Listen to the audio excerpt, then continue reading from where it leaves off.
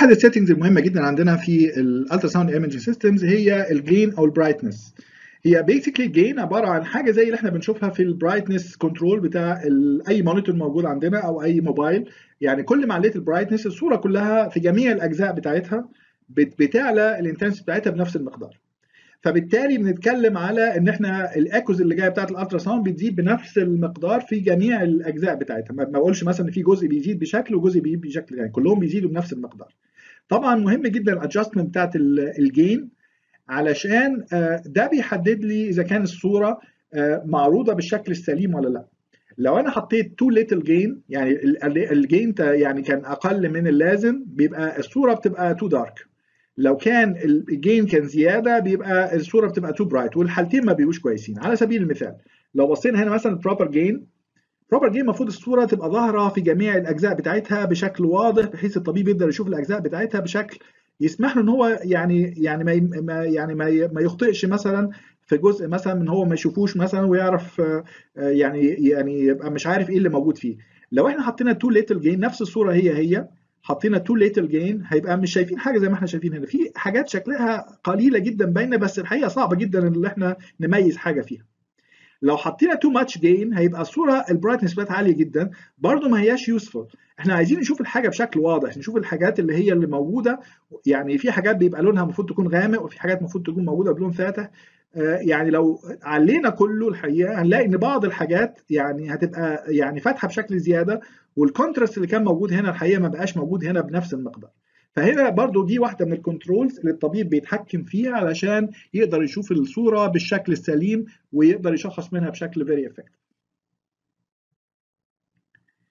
في نوع تاني بقى من ال gain بس ده نوع بيعتمد على ال depth زي ما إحنا كنا بنتكلم إحنا عندنا ال attenuation موجود جوه الجسم آه بيتغير مع ال depth يعني كل ما دخلنا ب depth أكتر كل ما حصل امتصاص أكتر لل echoes اللي بتاعت ال ultrasound يعني أنا على بال ما ببعت ال ultrasound ويوصل ل 10 سم بيكون أقل منه مثلا زي ما إحنا كنا بنتكلم مثلا مقدار من ال من ال intensity بتاعته. فمعنى كده إن أنا لو عندي آه reflector موجود على بعد 1 سم وواحد زيه بالظبط على بعد 10 سم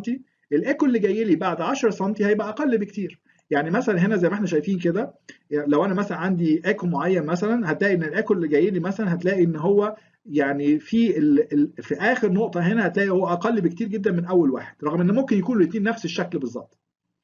فإحنا محتاجين نحط هنا حاجة زي variable gain amplifier وال variable gain amplifier ده ال gain بتاعه بيعتمد على ال time أو بيعتمد على ال depth طبعا إحنا عندنا علاقة مباشرة بين ال time وال depth هي السرعة. وإحنا اتفقنا إن السرعة بتاعت ال ultrasound بنفترض إنها ثابتة.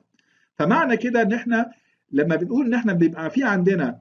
آه يعني time gain compensation يعني بنتكلم إن إحنا بيبقى لما ال gain بيزيد مع الوقت بالشكل ده كده يبقى هو effectively بيزيد برضو مع المسافة. فمعنى كده ال echoes اللي هنا اللي ال depth بتاعها كبير اللي جت بعد وقت أطول هتاخد gain أعلى بكتير من ال echoes اللي جت في الأول خالص. لما بعمل proper compensation لل gain بالشكل ده كده بيحصل تعادل في كل ال echoes اللي جاية من كل ال depth دي الحقيقة بنعملها عن طريق عندنا حاجة زي ما إحنا شايفين هنا كده بيبقى في عندنا حاجة اسمها time gain compensation sliders بيبقى كل واحد من دول بيبقى slider نقدر نحركه يمين وشمال زي ما إحنا عاوزين بيتحكم في depth معين. يعني أكني ال depth اللي قدامي على الشاشة خليت إن أنا يعني الجزء الأولاني فيه بيبقى أول slider الجزء الثاني ثاني slider وهكذا. بشوف أنا الحاجة أو الطبيب basically بيشتغل بال controls ديت عشان يخلي ال intensity في الصورة في جميع الأجزاء بتاعتها متساوية ودي حاجة الحقيقة مهمة جدا ودي حاجة من فعلا من صميم الحاجات اللي بيعملها الطبيب ومن الحاجات اللي فعلا بيحتاجها بشكل كبير عشان يقدر يطلع صورة تبقى يعني متصورة ب quality عاليه. هنا طبعا لو إحنا شفنا على سبيل المثال صورتين الصورة متاخدة ب ب يعني يعني ال gain كله ثابت يعني خليت كل ال slider دي ثابتة بالشكل ده كده فبلاقي إن ال echoes اللي في الآخر هنا كده مش ظاهرة لو أنا أخدت نفس الصورة هي هي ب proper compensation هنا ال gain كان أقل وهنا ال gain كان أكبر في ال depth الكبير بلاقي إن الأجزاء اللي كانت تحت هنا اللي ما كانتش باينة ابتدت تبقى ظاهرة بنفس الشكل اللي ظاهرة بيه ال echoes اللي موجودة في أجزاء أخرى. يعني هنا كان في artificially inflated echoes يعني basically هي جاية نتيجة إن ال depth بتاعها قليل هي طالعة عالية.